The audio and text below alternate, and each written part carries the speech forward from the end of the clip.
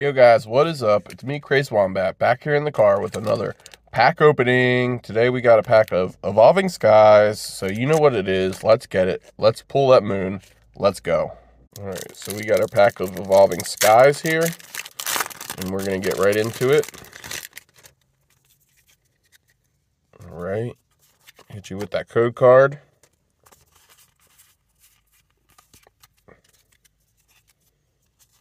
We got a Hypno. We got a, uh, that guy. Lanturn. Another that guy.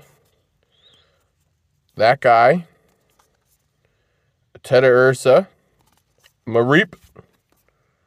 Zorua. Thievul.